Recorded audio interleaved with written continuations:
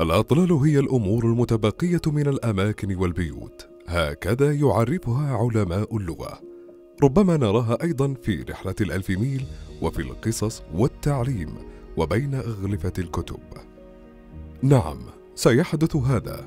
إن كنا في رحلة مع وزير العدل السابق وأمين رابطة العالم الإسلامية الدكتور محمد العيسى. والتي صنعت منه الأطلال الخاصة شخصية جادة ذات فكر مستقل ترغب في النجاح ولا تؤمن بالخسارة.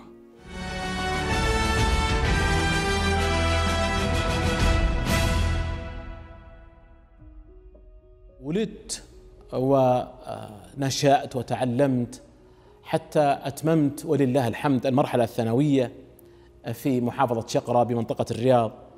وهي بلدة تاريخية آه، آه، كما آه، هو معروف تبعد عن الرياض تقريبا 180 كيلو متر كانت المرحلة الابتدائية تمثل أيام الطفولة الجميلة. فيها بداية التكوين الحقيقي لي. باعتباري ولله الحمد مسلما ومواطنا. تم في هذه المرحلة تشكل المشاعر تجاه مفاهيم الدين وأيضا معنى الوطن والوطنية آه، وتجاه المجتمع والحياة بشكل عام. تمثل الحياة الأولى لكل شخص آه، تمثل أهمية بالغة سواء كانت تتعلق آه، بالتأسيس العاطفي وهو المتعلق بالمشاعر أو التربوي أو التعليمي طبعا يدخل في ذلك التأسيس الفكري أو بمعنى أدق ما يسمى بصياغة تفكير الطفل والشاب. الركيزة الأساس في هذا هما الأسرة والمدرسة. تعلمت من الوالدين رحمهم الله في هذه المرحلة تحديدا كيف يفكر الإنسان بثقة تامة وباستقلال طبعا استقلال لا يخلو من الإشراف المناسب وبحكمة الإشراف أيضا لا أنسى آه، آه، ما للوالدين من مواقف الحقيقة تدرس أذكرها وأستحضرها دوما وأصبحت كالملهمة بالنسبة لي. آه، أعود لأقول بأنه في المرحلة الجامعية كانت الدراسة في كلية الشريعة تركز على مادتي الفقه وأصول الفقه. تميزت هذه الدراسة بأنها لا تنحصر في مذهب معين بل على المذاهب الإسلامية الأربعة. والترجيح بينها بحسب الدليل وليس غير الدليل. آه، في هذه المرحلة الجامعية كان هناك تأصيل للعقلية الفقهية وذلك من خلال الإلمام بالقواعد الفقهية والأصولية. وكنت شغوفا أكثر آه، بعلم أصول الفقه مع اهتمامي طبعا بالفقه. آه، في المرحلة الجامعية لازمت بعض القامات العلمية. لازمت أكثر آه، معالي الشيخ بكر بن عبد الله أبو زيد رحمه الله وتأثرت بمنهجه العلمي وأيضا بغرامة في جمع الكتب وقراءة مطولاتها وأيضا بجزالة العبارة في كتاباته العلمية. آه، كان رحمه الله حالة استثنائية في جزالة الأسلوب العلمي. وحقيقة لا أعتقد أن احدا في العصر الحديث وصل إلى مستواه في العبارة الشرعية الممزوجه أحيانا برونق العبارة الأدبية. أه ولله الحمد تشرفت أيضا باشرافه علي في رسالة أه الدكتوراه. الحقيقة في هذا السياق هناك كلمة حق يجب أن تقال. وهي أن دراستنا في المرحلة الجامعية في كلية الشريعة بالرياض كانت دراسة متينة وعميقة. وكانت ترسخ الفقه الإسلامي وأصوله وفق المنهج الواسع والشامل. وبعيدا أيضا عن مفاهيم التطرف. وهو ما يجعلنا على قناعة تامه بأن نزعة التطرف لدى البعض لا علاقة لها مطلقا بتلك المناهج ولا بعموم أعضاء هيئة التدريس. طبعا قد يوجد في ذلك الوقت بعض الأساتذة محل ملاحظة فكرية لكن هذا في حالات قليلة. هي حالات استثنائية وليست قاعدة. هي وإن كانت حالات استثنائية إلا أنها تظل غير مقبولة.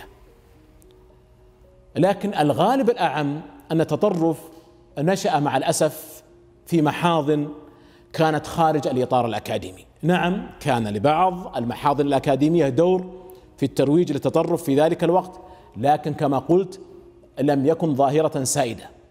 بل كان في حالات قليلة بدليل أن السواد الأعظم من الخريجين كانوا على خير حال ولله الحمد. وإذا قلنا بغير ذلك فإننا لا بد أن نقول بأننا درسنا في محاضن أخرى. آه، وبالتالي سيكون هناك مخرجات آه، سلبية. ولكن هذا غير صحيح مطلقا. بل درسنا في مؤسسات أكاديمية موثوقة. طبعا لا ننكر أن هناك اختراقات وقد تم العمل عليها من قبل التنظيمات المتطرفة وبمهنية أيضا مع بالغ الأسف ولكنها كانت في الطوق بحمد الله. نعم أثرت لكنها مؤخرا حوصرت تماما. أيضا وحتى لا أنسى كانت في ذلك الوقت آه، كتب الصحوة على أشدها وخاصة آه، كتب سيد قطب. آه، ويعتبر الرمز الإخواني ويعتبر الأديب الإخواني الذائع في ذلك الوقت. ولكن بحمد الله بالرغم من قراءتي لعدد منها لم أجد لها أي تأثير. والسبب بفضل الله أن التدين الذي تربينا عليه كان محصنا. بل لم نجد من المعلمين من سوق تلك الكتب الصحوية. وهذه نعمة من الله عز وجل. لا شك أن للمعلم دورا كبيرا في التأثير على طلابه وفي توجيههم ولكن كان لهذه الكتب الصحوية تأثير على البعض. بسبب ما حصل من تسلل لها ولأسباب عدة. وكان لهذا التسلل آثار مست المجتمعات الإسلامية عموما مستها بأذى ولا وعلى عدة محاور. يعني لم يكن بلدا معينا بل عدد من البلدان. وكانت الحقيقة البداية الفاعلة لتسللها لدينا في حدود عام 1400 للهجرة. الذي ساعد التطرف على بعض التسلل وخاصة تسلل جماعة الإخوان المسلمين كان عن طريق دروس في مجالس خاصة. وبعد النشأة والتعليم بدأ يتضح أن الشيخ محمد العيسى يملك فكرا مختلفا يجد من خلاله فهم طبيعة بعض أمور ربما لم ينظر لها أو يحللها بهذه الطريقة أحد قبله. آه، اللغة العربية هي لغة القرآن وهي بحمد الله عز وجل محفوظة بحفظ الله عز وجل لكتابه. آه، من المهم آه، في هذا السياق أن ننبه على أهمية القيام بحراسة هذه اللغة لنكون من جنود الله الذين سخرهم جل وعلا لحفظها. مع بالغ الأسف هناك من يسعى بعلم أو بدون علم لتقليص حضورها ومن العرب أنفسهم مع أنها لغة رسمية من بين لغات الأمم المتحدة الست فضلا طبعا عن كونها لغة القرآن الكريم. آه، موقف لابد أن نذكره آه، فهو يذكر ويشكر آه، فالمملكة العربية السعودية احتفت احتفاء كبيرا باللغة العربية سواء في التعليم أو غيره وتوج ذلك بمجمع الملك سلمان العالمي للغة العربية وهو مجمع مهم جدا آه، يذكر آه، فيشكر آه، وسيقدم بعون الله عز وجل ما يتطلع إليه الجميع في خدمة اللغة العربية. أيضا من الأمور التي كانت تستهويني في مرحلة الدراسة الأولى الاهتمام باللغات. وذلك امتدادا لاهتمامي الشغوف بالعربية. تركز الاهتمام على المصطلحات. وأثناء ممارسة هذا الاهتمام وجدت أخطاء في ترجمة بعض المصطلحات وأحيانا أخطاء فادحة ولا سيما آه، في ترجمة المصطلحات الإسلامية وهي حساسة ودقيقة مثل ترجمة الجهاد ب fighting الصحيح أن يترجم ب striving آه، لأن الجهاد له أكثر من معنى وليس القتال فقط. وبهذه المناسبة نشير بأن الجهاد في الإسلام الذي آه، يقصد به القتال في أحد معانيه كان للدفاع فقط ولم يكن يوم من الأيام هجوميا لفرض الإسلام كما يتصوره البعض خطأ. المسلم الحق متسامح مع الجميع ولذلك المسلم الحق حيثما حل وحيثما رحل فإنه يرفع راية السلام والوئام والمحبة والصداقة. الإسلام دين سلام دين منفتح على الجميع دين محب للجميع. دين يؤمن بقوله جل وعلا لا إكراه في الدين.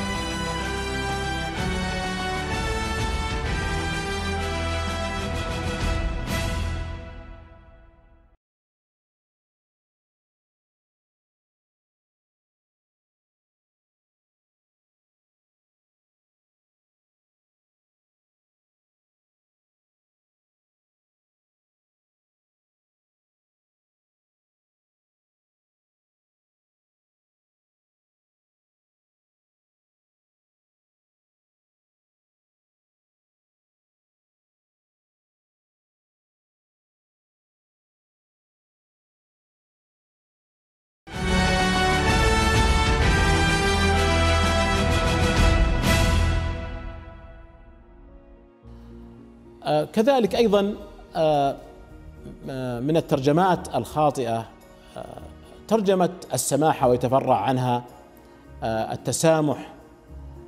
هذه تمت ترجمتها كما هو السائد بتولرانس وهي ترجمة غير دقيقة. والصحيح forgiveness عندما أريد المعنى في الإسلام والأدق منها leniency آه، وقوفي عند هذه آه، الترجمات تحديدا كان مؤخرا ولكن القصد أنها امتداد لاهتمامي السابق آه، باللغات وتحديدا المصطلحات. أيضا كان من ضمن الاهتمامات في المراحل الأولى للتعليم قراءة بعض كتب الفلسفة. ولكن كان المتوفر في ذلك الوقت الكتب المترجمة. نعم توجد كتب لمؤلفين عرب عن فلسفة سقراط أفلاطون أرسطو ولكن لاحظت أن بين بعضها تناقضا في المعلومات عن الفيلسوف الواحد. ما يجعلك تشكك في مستوى دقتها أو حتى أمانتها العلمية. من الكتب المترجمة كتب عن رينيه ديكارت وفولتير وهما فرنسيان كما هو معلوم. وكذلك الفيلسوف الألماني إيمانويل كانت والذي يعتبر آخر فلاسفة ما يسمى آه، بعصر التنوير الأوروبي. حتى إنه قيل إنه مؤسس العقل الأوروبي الحديث. آه، ولا تزال آه، بعض حكم هذا الفيلسوف في ذهني حتى الآن. أذكر منها على سبيل المثال قوله بأن الغضب هو الخطأ الذي نعاقب به أنفسنا على خطأ اقترفه غيرنا. طبعا لست مع مطلق تشاؤمه عندما قال بأن السلام الدائم هو في المقبرة فقط. صحيح الحياة فيها صراع لكن لا نواجه ذلك بهذا الأسلوب. يجب أن نقول بأن في الحياة املا وتفاؤلا دائما. آه، تلك الكتب الفلسفية آه، تم التعرف عليها أكثر في المرحلة الجامعية وهي في العموم مترجمة عن الفرنسية والألمانية. آه، طبعا على ما في هذه الترجمات من إشكالات. بدليل الدليل على هذا أن تغير بعض المعاني من ترجمة لأخرى وتغير كبير. حقيقه تظل الترجمة آه، معضلة كبيرة. والعمل المهني المتميز في الترجمة يعتبر نادرا جدا. الحقيقة لا أريد أن أطيل في هذا لكن أحببت أن أقول بأن هذه الأمور كانت تستهويني كثيرا من المرحلة الثانوية وأيضا من بداية الدراسة الجامعية. وهي مهمة للغاية وجاءت امتدادا للميول اللغوية فقد كنت شغوفا باللغة العربية. حريصا على آه، معانيها وأن تنقل هذه المعاني إلى اللغات الأخرى بكل دقة.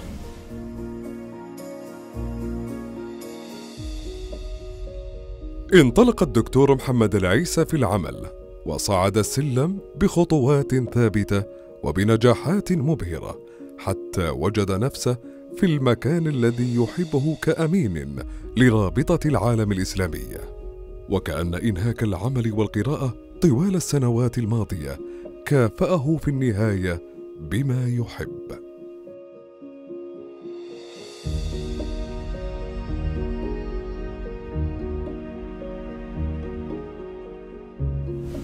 آه، مهم آه، أن أشير أيضا آه، إلى أني واصلت التزود بالمباحث القانونية بعمق أكثر وذلك أثناء عملي قاضيا إداريا في ديوان المظالم. طبعا على ما يقارب الخمسة عشر عاما وفي هذه الفترة قرأت بتمعن كبير كتاب روح القوانين لمونتسكيو وهو في الواقع أوسع من كونه كتاب قانون بمفهومنا المعاصر. طبعا مونتسكيو فيلسوف فرنسي في القرن الثامن عشر الميلادي وهو أول من استحدث عبارة روح القانون في مقابل عبارة نص القانون. وهنا أشير إلى أن علماء الشريعة الإسلامية سبقوه إلى مصطلح مقاصد الشريعة التي تعني بمعنى آخر روح النص. جاءت تلك القراءات القانونية نظرا لحاجة في القضاء الإداري إلى مبادئ ونظريات القانون الإداري. أيضا قرأت في عدد من المبادئ القضائية في القضاء الإداري لدى عدد من الدول. لكن طبعا الأساس القضائي في جميع الأحوال هو تحقيق العدالة والتي ترتكز على العدالة الإسلامية ولله الحمد. هناك نصوص شرعية تمثل دستور المملكة العربية السعودية وهذه هي المرتكز. وهناك نصوص نظامية ولائحية كذلك يجب أخذها في الاعتبار. آه تم التواصل أكثر مع الجانب القانوني عندما كنت ألقي محاضرات في جامعة الملك سعود في مادة القضاء الإداري وأيضا آه في المعهد العالي للقضاء بجامعة الإمام محمد بن سعود الإسلامية في نفس المادة. وكانت تلك المحاضرات آه تجمع بين المادة الشرعية والقانونية. وأيضا الصور القضائية التطبيقية. أيضا تم التواصل في الجانب القانوني أكثر وأكثر عندما كنت أناقش رسائل ماجستير ودكتوراه ذات صلة بتفريعات مباحث القانون العام. بعد التخرج في كلية الشريعة عملت في القضاء العام ثم انتقلت بطلب من شيخي الدكتور بكر أبو زيد رحمه الله إلى هيئة كبار العلماء كباحث علمي في ذلك الوقت والتي أصبحت عضوا فيها فيما بعد. آه ثم انتقلت بعد حصولي على الدكتوراه بتوصية من شيخي رحمه الله إلى العمل الأكاديمي. آه بعد ذلك انتقلت إلى القضاء الإداري في ديوان المظالم وبعدما ترقيت إلى درجة قاضي تمييز آه تم اختياري من قبل معالي رئيس ديوان المظالم لأكون نائبا له بدرجة رئيس محكمة تمييز وكان ذلك في عام 1428 للهجرة. بعد سنتين تقريبا تعينت وزيرا للعدل وذلك في عام 1430 ثم أثناء فترة عملي وزيرا للعدل وتحديدا في عام 1433 للهجرة كلفت برئاسة المجلس الأعلى للقضاء إضافة لعمل الوزارة. في هذه الفترة واصلت مثل غيري من وزراء العدل السابقين. واصلت ما انتهوا إليه من التطوير العدلي. حيث كان لكل منهم بصمة في التطوير رحم الله من مات وحفظ من بقي. طبعا كان ذلك بحسب ما استطعت من جهد أنا والعاملين معي في الجهاز. والحقيقة أن منظومة التطوير في أي قطاع لا يمكن أن تتوقف. وهي في حاجة ماسة للإبداع والمواصلة.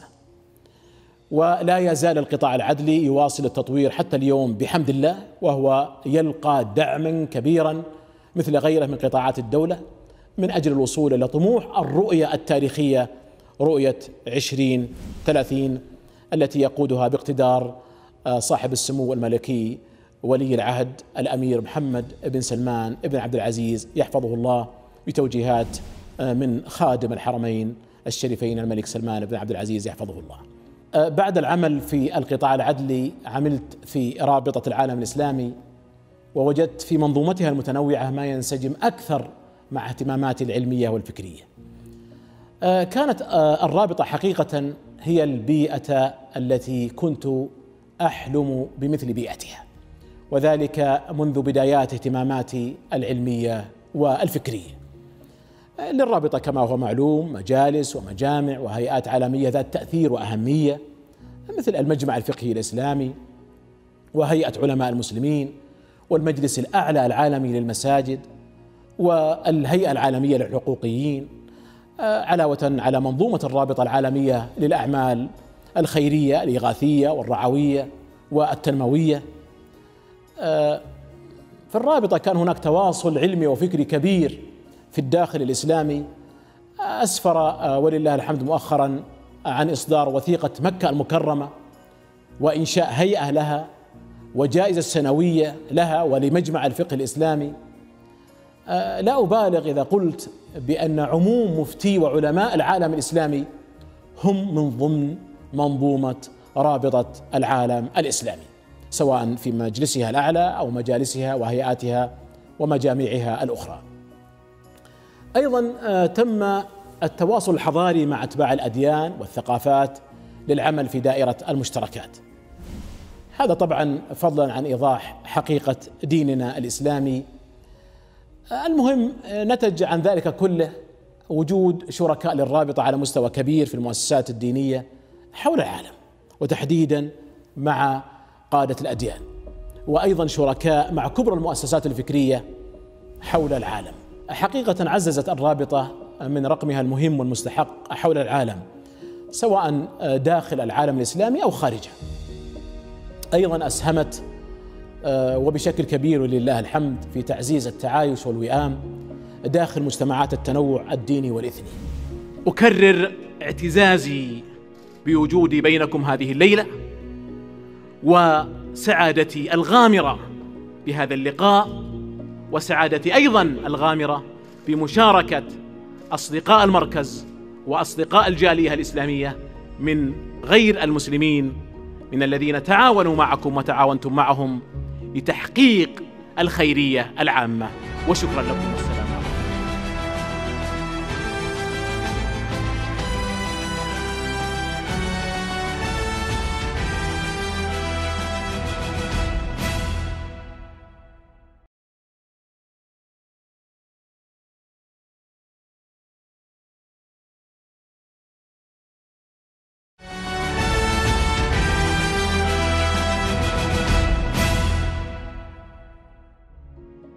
أيضا لا أنسى زيارتنا لطائفة المورمن المسيحية في مركز الطائفة في يوتا آه، بالولايات المتحدة الأمريكية.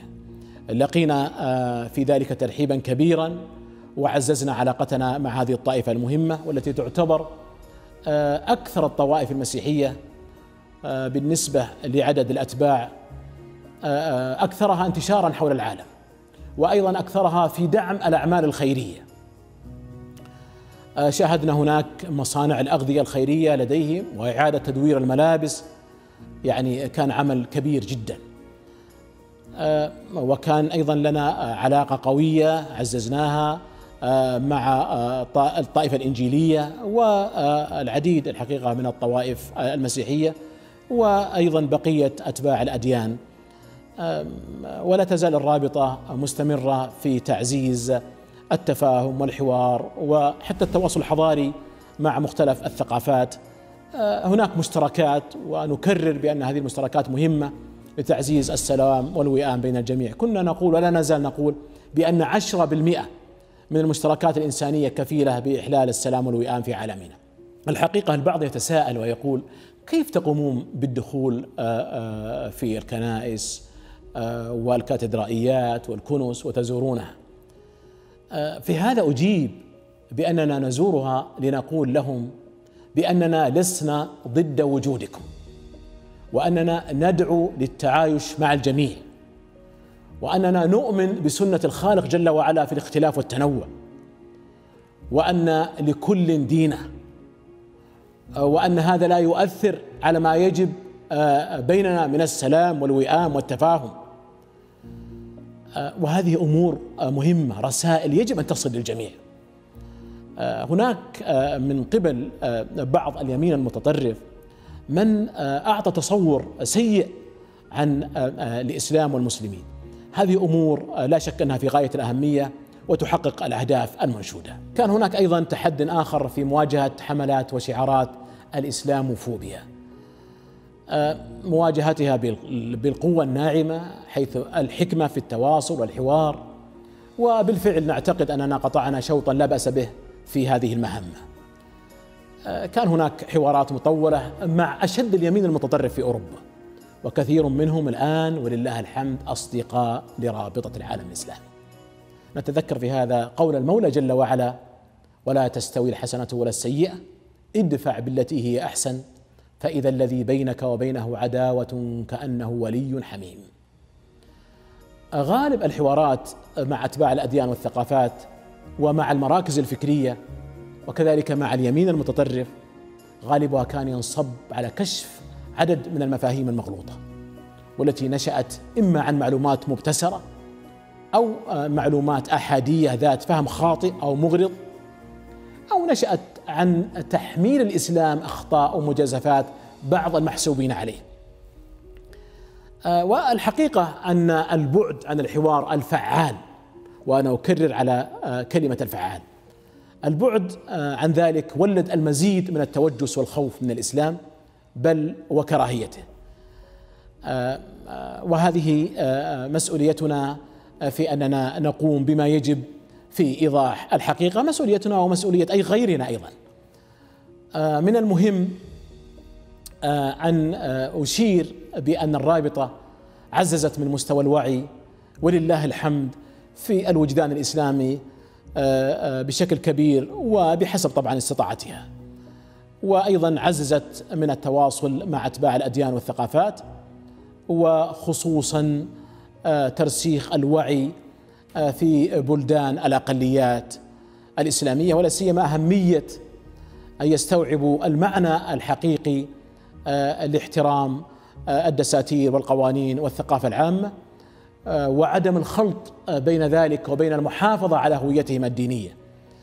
جاءت أفكار صدام وصراع الهوية مع الأسف من قبل حملة أفكار ما يسمى بالإسلام السياسي وتحديدا كما هو معلوم جماعة الإخوان المسلمين. عموم الدساتير الغربية على وجه الخصوص هذه لا تتدخل في الحريات الدينية بل إنها تضمن هذه الحرية وتحرص على حمايتها. لديهم تنوع ديني كبير ولديهم آه، تعقيدات في هذا وتعقيدات تاريخية. هم حريصون جدا آه، على الا يكون هناك صدام ولا صراع في هذا الشأن. آه، بالتالي يمكن نقول إنه لا يوجد الحقيقة صراع هوية إلا في أذهان البعض. ويغذي هذا الوهم أفكار ما ذكرنا من أفكار ما يسمى بالإسلام السياسي لأنها قائمة على الصدام والصراع آه، وتهييج العاطفة الدينية المجردة عن الوعي. آه، كما أن آه، قاعات الأمم المتحدة فتحت لنا أبوابها لتقديم مبادرات رابطة العالم الإسلامي ولقينا في هذا ترحيبا كبيرا. حصل ذلك في نيويورك وجنيف واقمنا مؤتمرا في نيويورك وجنيف وكان مؤتمرين مهمين للغاية. آه، نتج عنهما ما يقارب الثلاثين مبادرة بآلياتها التنفيذية. آه، مؤخرا جاء العمل المشترك مع المؤسسة الأكاديمية للأمم المتحدة وهي جامعة السلام. آه، من خلال عمل علمي شارك في إعداده. عدد من الشخصيات الدينية والسياسية والفكرية حول العالم. كذلك لا أنسى أن الرابطة آه، عملت ولله الحمد على تعزيز العلاقة آه، مع إخواننا الأعزاء في الشيشان وخاصة بعد اللبس الحاصل على خلفية مؤتمر جروزني لقينا من إخوتنا الأعزاء في جمهورية الشيشان كل تقدير وانتهى كل شيء إلى خير حال. وبقيت الأخوة والمحبة والتفاهم. آه، كما تشرفنا أيضا بدعوة فخامة الرئيس الشيشاني آه، السيد رمضان قادروف بإلقاء أول خطبة جمعة في أكبر آه، جوامع أوروبا والذي تم تشييده في غروزني. آه، كانت الخطبة بحضور فخامته وحضور كبار الشخصيات الإسلامية من علماء وسياسيين الذين حضروا حفل افتتاح هذا الجامع. وإذا كان هناك من تحد في الحقيقة تجاوزته الرابطة بنجاح تاريخي فهو الحلم الكبير لإصدار وثيقة مكة المكرمة حيث تطلب الأمر جمع مفتي وكبار علماء الأمة الإسلامية من كافة المذاهب والطوائف.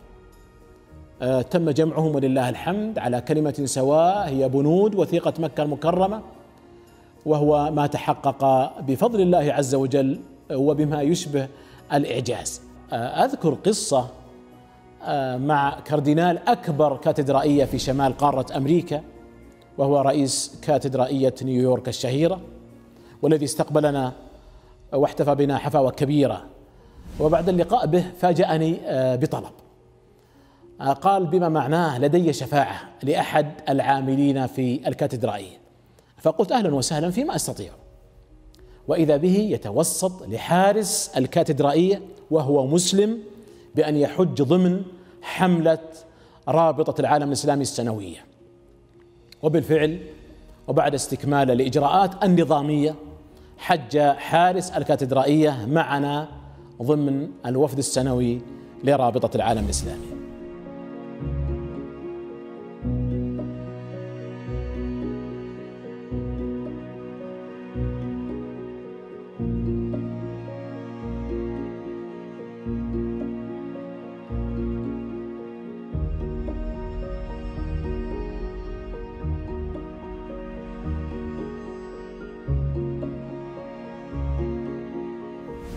دخلت الرابطة في حوارات عالمية مفتوحة وتمثل آه، كذلك آه، زوايا حادة في السجال الفكري والثقافي وتجاوزتها بنجاح كبير آه، بفضل الله عز وجل. والدليل على ذلك هو مستوى العلاقات الدولية التي كسبتها الرابطة. أذكر كمثال على الحضور العالمي والمؤثر للرابطة. أننا تلقينا دعوة فخامة الرئيس السريلانكي للإسهام في إنهاء المشكلة التي حصلت على إثر التصعيد الطائفي الذي أعقب تفجيرات كولومبو.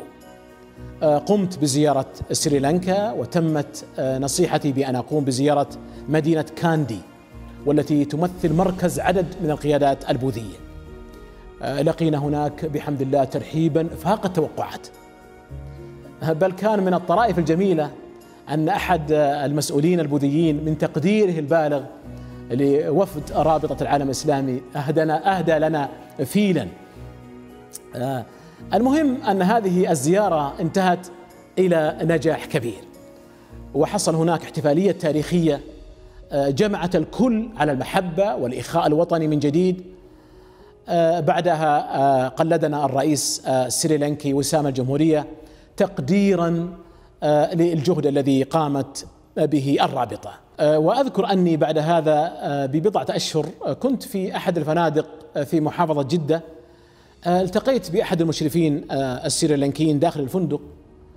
وبعدما تعرف علي قال لي مبادرا بأن الذي عملته رابطة العالم الإسلامي في سريلانكا لا يمكن أن ينسى والحمد لله على فضله.